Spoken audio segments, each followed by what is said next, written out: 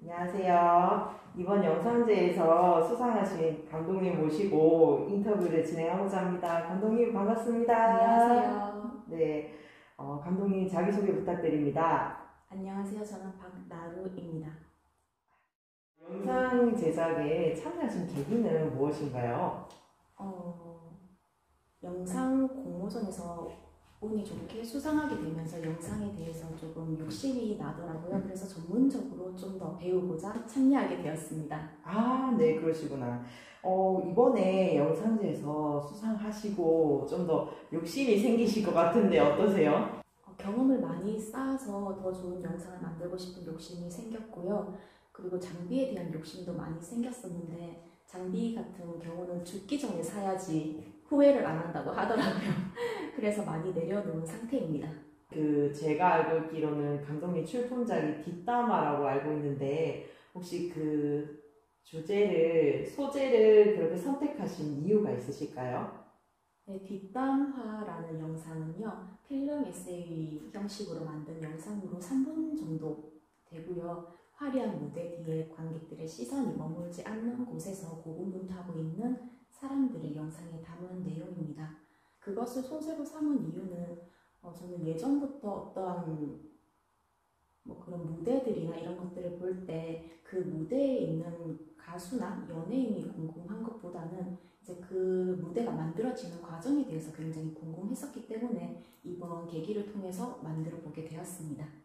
혹시 그런 영상을 만들 때 어, 이런 거는 되게 뭔가 만들고 난 다음에 보람이 되었다? 아니면 이런 부분은 정말 힘들어서 내가 이 작품을 계속 해도 되나? 그런 생각이 든 계기가 있었을까요? 사건이라든지? 이번 영상을 만들면서 제가 힘들었던 부분은 기획에 있어서 많이 힘이 들었어요. 제가 창의력이 뛰어난 것도 아니었고 글을 잘 쓰는 재능도 어, 특출나지 않기 때문에 기획이 많이 힘들었는데 어, 앞으로도 영상을 계속 음, 만드는 작업을 해보겠지만 기획 부분에서 굉장히 많은 고민을 할 것 같습니다. 기획에 대해서 많은 고민을 하신다면 그쪽으로 앞으로 더 뭔가 배움을 하신다든지 그런 계획이 있으신 건가요? 네, 앞으로도 많은 경험들과 배움을 통해서 더 좋은 영상을 만들고 싶다는 생각은 하고 있습니다. 전에 혹시 어떤 일 하셨을까요? 간호사의 삶을 살았었고요. 간호사의 삶을 살다가 제 가치관에 부합하는 일을 하고 싶어서 그만두게 되었습니다. 그럼 감독님께서는 학창 시절에 혹시 어떤 꿈을 꾸는 학생이셨나요?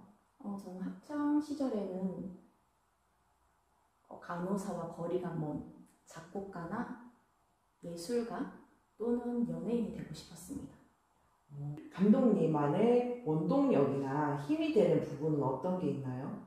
음, 아무래도 저의 원동력은 어, 일단 1순위는 가족일 거고요. 그리고 2순위는 결핍이 아무래도 살아가는데 힘이 가장 많이 됐던 것 같습니다.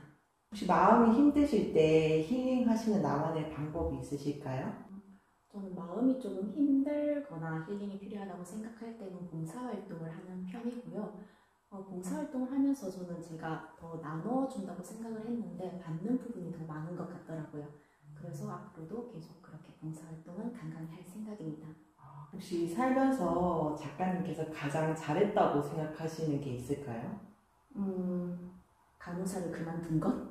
간호사를 지금 계속 하고 있다면 따박따박 월급을 받으면서 편안하게 생활을 하고 있을 것 같긴 한데 제 삶에 안주하면서 살게 살고 있을 것 같아서 저는 오히려 그만둔 게 잘한 게 아닌가 하는 생각을 많이 합니다. 아, 감독님께서 혹시 인생에서 가장 감사하다고 생각되는 일이나 그런 것이 있을까요? 음, 감사한 것은 엄마의 딸로 태어난 것 그리고 어, 그 수많은 이름 없는 암흑개들과 의병들을 포함한 역사 속 인물들이 잘 만들어 놓은 지금 이 시대를 살고 있는 것에 항상 감사하고 있습니다. 그러면 30년 후에는 우리 감독님은 어떤 모습으로 활약하고 계실까요? 30년 후에는 음, 제 주변 사람들한테는 이미 다 얘기를 해놨어요. 30년 뒤쯤에는 나는 해외에서 봉사활동하면서 살고 있을 거라고 말을 해놓은 상태거든요. 그 꿈이 이루어졌으면 좋겠습니다. 감독님 마지막으로 어 그냥 앞으로 이제 감독님의 작품을 보실 예, 다양한 분들에게 혹시 한마디 해주고 싶은 말씀이 있으실까요? 제 작품을 볼 사람들에게요. 어, 그것보다는 요즘에 이제 어, 이 미디어의 역량이 삶의 역량이 되고 있거든요. 그래서 확정 편향에 빠지지 않고 영상을 좀 더 비판적으로 바라볼 수 있는 것을 넘어서서 영상을 제작하고 활용하고 기회로 만드는 것이 가장 중요하다고 생각합니다. 그래서 그렇게 하기 위해서는 우리가 기술과 지식을 습득을 하고 경험을 하는 노력을 스스로도 많이 해야 한다고 생각을 하고요. 우리 모두가 균형 잡힌 미디어의 주체가 되었으면 좋겠습니다.